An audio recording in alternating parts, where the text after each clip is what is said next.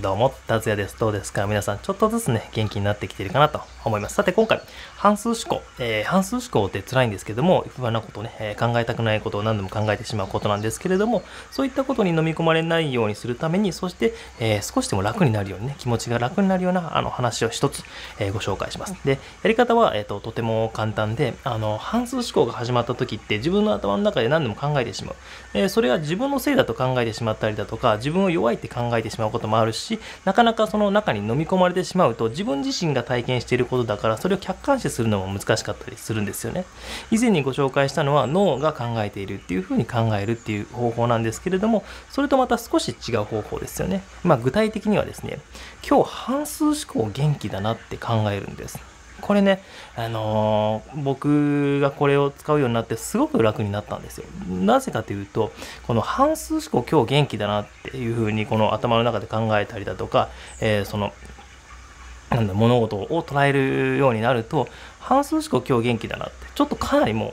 自分の脳が考えているとかいうよりもさらに客観視できるし、ああ、今日半数思考元気だな。そのための対策をどうこうしようっていうことも考えられるし、なんででしょうね、その生き物として捉えるというかね、その半数思考自体。これは半数思考だけじゃなくて、不安もそうなんですけども、今日不安元気だなって何かあったのかなとか、えー、そういうふうに考えたりだとか、今日恐怖心元気だなとか、えー、その自分の体今こういう状態になってるのかなどうしてだろうっていうふうにすごく考えやすいんです、えー、客観視できるし対策も立てやすいし、えー、不安とかそういう反数思考に飲み込まれづらくなるんですよね。適度に距離を保てる。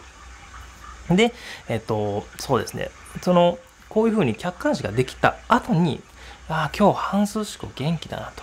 何があったんだろうかえその頭の中に浮かぶことを紙の上に書いて一度整理していくとああこういうことがあるから今の自分の反数思考って強いんだなっていうふうに考えられたりだとか今の自分の恐怖心って強いんだなっていうことが考えられたりだとかね。でそういうふうに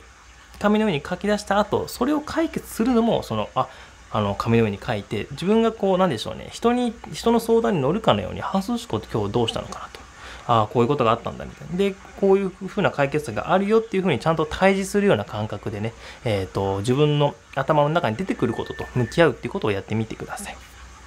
で、えっ、ー、と、こういうふうにやっていけると、基本的に僕たちっていうのは、あの、怖いこととか、えー、半数しか特にこの先に起こってしまうかもしれないようなことっていうのが頭の中にたくさんこうよぎることだと思うんですよね。過去にこういうことがあったっていうのはなかなかこう、えー、反数しづらくて、どちらかというとこの先こうなるんじゃないかとか、決断がうまくできない時、えー、何度も考えてしまう時に起こるので、で、その起こるものっていうのは実はその人間の今までに経験してきたものね、えー、僕たちっていうのは過去のイメージだとか、過去に経験してきたものをベースとして未来を見ています。今を見ています。なので、その過去に何かあったんじゃないかなってっていうふうに、こう、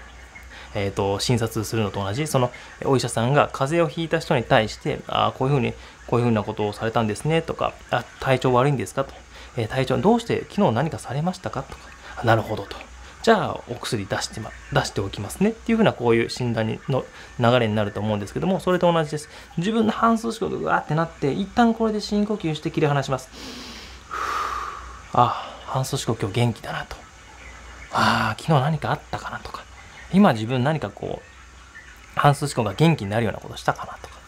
っていうふうにこう考えて診察していきます。で、ああ、これ先にこういうことあるかもしれないっていうことが頭によぎっているな。ということは、こういうことを心配してるんだなと。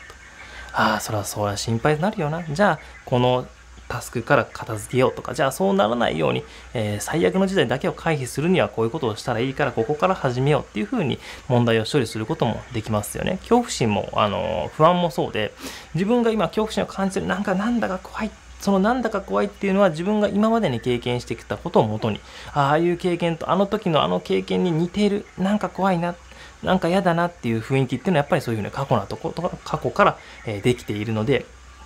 過去の経験ね。なので、自分が怖いなと思ったら、ああ、恐怖心元気だなって。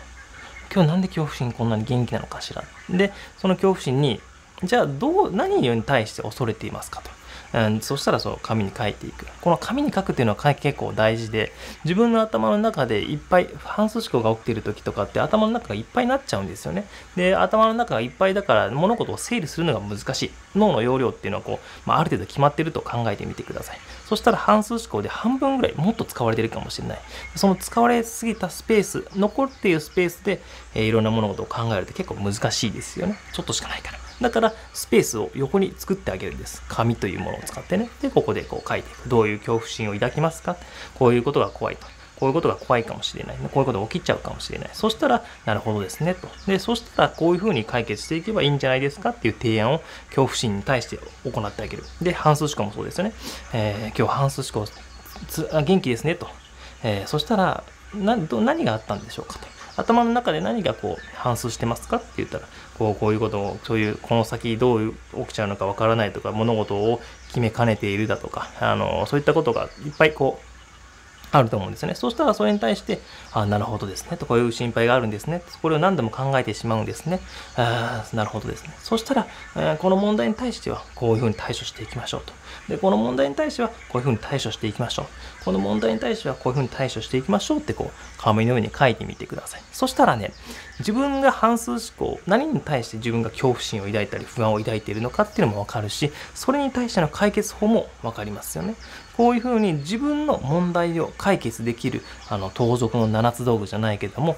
っていうものを作っておくためにも自分の頭の中というか自分の半数思考自分の半数思考っていうとあれだな、まあ、半数思考君が元気な時に対処法はこうだ。っていうのがちょっとずつこう確立できていけると自分の半数思考が元気になった時にあこれでもこういうふうに対処したらいつもよくあの効果があるなっていうのもわかるし、えー、それを人に対してもねあのこういうふうにすると不安っていうのは少し減らしやすいかもねっていう話もできるし、えー、そういうふうにね、自分の頭の中のことは一旦紙に書くっていうのは結構おすすめです。で、ちょっと話が逸れちゃったので、また戻しますね。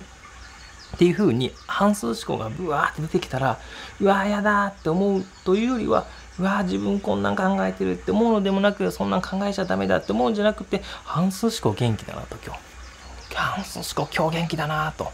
何度も反数してますね。みたいな感じで、こう、かなり距離を取る。で、その後に問題解決をしていくっていう、この流れを踏んでみてください。で、この反数思考に関しては僕もかなり悩んだので、どんどん動画を出していきます。で、今回は本当にこう、口頭だけですが、実際に紙を使ってみたりだとか、えー、もうちょっと深く深掘った話をしたりだとか、いろいろしていきますので、まあよかったらね、えー、またこの場所に、えー、このチャンネルかな、え見に来ていただけたらなと思います。そんな感じで今回は半数思考に困ったら、半数思考今日元気だなとか、えっていうふうにこう考えるっていうことを取り組んでみてください。まあ、今日からというか今からできますからね。そしたら不安に飲み込まれづらくなるし、対策法も作れるっていうお話でした。はい、ちょっとずつね、えー、元気になっていけると思うので、こういったものは技術なので練習する必要があります。えー、できるところから始めてみてくださいね。ではではまた。あと、お別れする前に一回だけ深呼吸してお別れしましょう。これも技術なので、あの、育てて、皆さんが自身が育ててあげてください。いきますよ。鼻から息を吸って、口から息をゆっくり、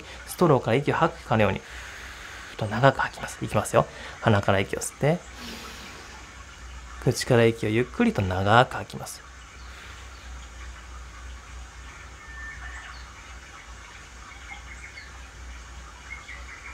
はい、えー、ちょっとね、リラックスできたかなと思います。ではではまたこの場所でお会いしましょう。またね、ちょっとずつ良くなると思います。ではでは。